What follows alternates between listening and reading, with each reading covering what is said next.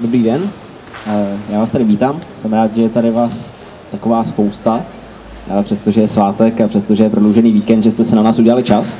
A chtěl bych vám říct něco, co už eh, někteří z vás ode mě slyšeli, a to je něco, k čemu bych vás chtěl vyzvat, o co bychom měli usilovat my, kdož jsme příznivci myšlenek svobodných, myšlenek svobody jednotlivce, nezávislosti, suverenity a podobně.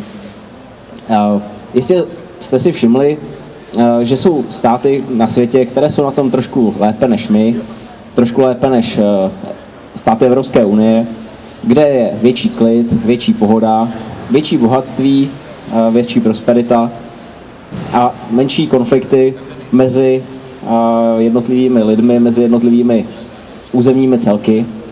Můžu zmínit nějaké nezávislé ostrovy, můžu zmínit Liechtensteinsko, můžu zmínit Švýcarsko, a myslím si, že toto jsou státy, toto jsou území, ze kterých bychom si měli brát uh, ponaučení, ze kterých bychom si měli brát příklad a podívat se, co je tam jinam, jinak než u nás a pak zkusit to též aplikovat na Českou republiku, uh, případně na menší celky.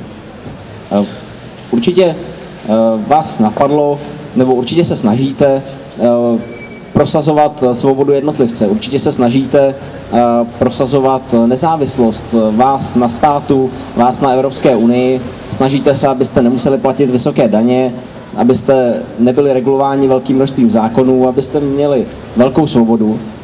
A já bych vás chtěl tak jako popostrčit k tomu, abyste se nesnažili pro, prosazovat jenom vlastní svobodu, ale i svobodu dalších celků.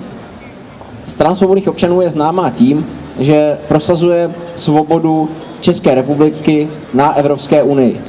Ale měli bychom prosazovat také svobodu a suverenitu uh, nižších celků na českém státu, třeba obcí. A stejně tak bychom měli prosazovat nezávislost jednotlivce na obci. Zkrátka tak, abychom tu rozhodovací pravomoc posouvali z co nejvyššího, uh, z co nejvyšší úrovně na co nejnižší tak, aby o nás nerozhodoval bruselský úředník, ale pokud to nejde uh, jinak, tak aby o nás aspoň rozhodoval obecní, když už nemůžeme za sebe rozhodovat sami. Zkrátka, ne, nebojujme jenom za svobodu jednotlivce, ale také za to, aby se o nás rozhodovalo na co nejnižší úrovni. A podívejme se do toho Lichtensteinska.